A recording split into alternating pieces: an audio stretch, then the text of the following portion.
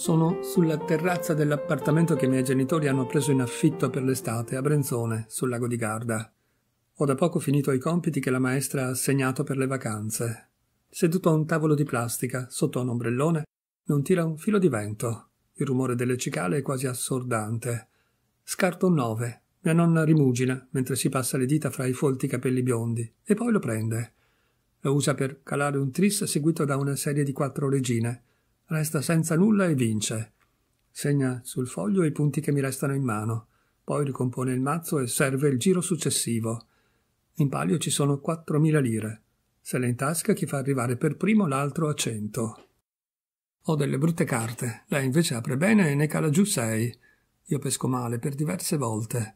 Poi riesco a combinare qualcosa con quello che ho in mano e ad attaccare a quello che c'è già in tavola. Mia nonna passa per un paio di volte. Studio il quadro generale, poi metto insieme un'altra serie e scarto una donna, ma lei la raccoglie e me la restituisce. Non questa, dice, buttane un'altra o chiudo. Accolgo il suggerimento e cambio. Lei pesca dal mazzo e poi passa. È il mio turno. Compongo un ultimo tris. Getto il jack che mi resta e mi ritrovo senza nulla in mano. Vinco. Bravo, dice lei mentre annuisce serena. Io prendo le banconote, poi corro al bar, sul lago, e mi attacco al videogame di Popeye. Parcheggio la bici sotto un albero, tra le foglie secche. Sono quasi le tredici. Suono il campanello. Mia nonna mi apre. Entro dal portone, salgo le scale. Lei mi aspetta sulla soglia e già sorride. L'abbraccio. I suoi capelli tinti odorano di lacca. Ti sediamo al tavolo del salotto apparecchiato, dove fuma una pirofila di spaghetti. Mentre grattugio del grana, lei mi chiede Com'è andata a scuola? Bene, rispondo io. Ho fatto il compito di matematica. Dovrebbe essere andato bene. Bravo, dice lei. Studia sempre, mi raccomando. Sì, dico io mentre verso l'acqua entrambi. Poi lei mi chiede dei miei amici e di come sta Filippo, mio fratello. Poi si alza, sparecchia e torna col suo caffè, una fetta di dolce per me e un mazzo di carte. Iniziamo a giocare e dopo un'ora e diverse mani mi batte di soli due punti. Vince 12.000 lire. Sono quasi le tre. Mi dice che più tardi passano la mamma e le mie zie. Io dico che vado a judo. Ci salutiamo. Metto il motorino in cavalletta e quasi scivolo sulla neve ghiacciata. Apro la porta di casa di mia nonna con la copia di chiavi dei miei genitori. È pomeriggio, ma c'è già buio. La vedo sulla poltrona del salotto, il capo indietro, la bocca aperta, davanti allo schermo muto che le illumina gli occhi chiusi, e respiro affannoso.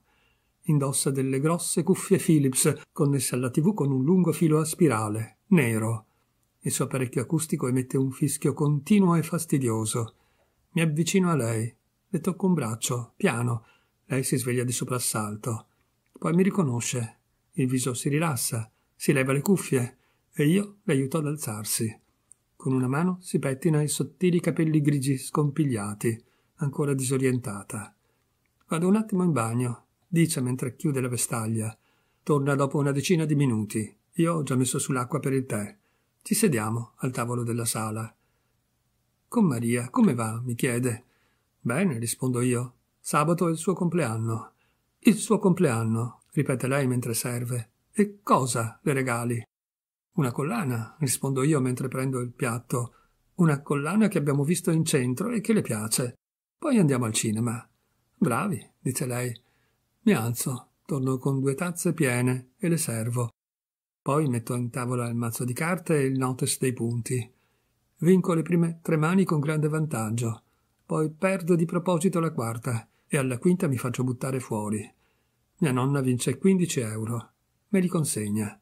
Dalle a Filippo, mi dice. Le otto e mezza di sera. Parcheggio l'auto sotto il glicine. Lascio le 24 ore sotto il sedile. I grappoli lilla mi ronzano nelle orecchie. Salgo e apro la porta di casa di mia nonna, con la mia copia di chiavi. L'appartamento è buio, anche se fuori è ancora chiaro. C'è tutto spento. Sulla tavola della cucina apparecchiata per metà c'è un piatto con mezza simmental e un quarto di uovo sodo. Nonna, chiamo, ma non risponde nessuno. Illumino il corridoio con il display del telefono. Arrivo nella sua camera da letto. Le tapparelle sono abbassate, ma filtra un po' di luce. Mia nonna è nel suo letto, avvolta nella coperta di lana. Si lamenta sottovoce. il volto sfigurato, i radi capelli sconvolti. Mi vede, tende un braccio e rantola qualcosa senza riconoscermi. Non capisco, mi avvicino. Caramela, dice mentre indica. Io guardo il comodino e vedo solo medicinali. Le chiedo di ripetere. Caramea, rantola ancora. Allora prendo un blister di pastiglie e glielo mostro. Lei annuisce. Glielo porgo. Divora due pillole e poi si gira su un fianco, stremata. Si mette a dormire. Mia madre me lo aveva detto che la nonna negli ultimi giorni era peggiorata improvvisamente, di essere preparato. Credevo di esserlo di più, mentre seduto al tavolo del salotto guardo il mazzo di carte pronto e il blocco notes immacolato, la penna accanto.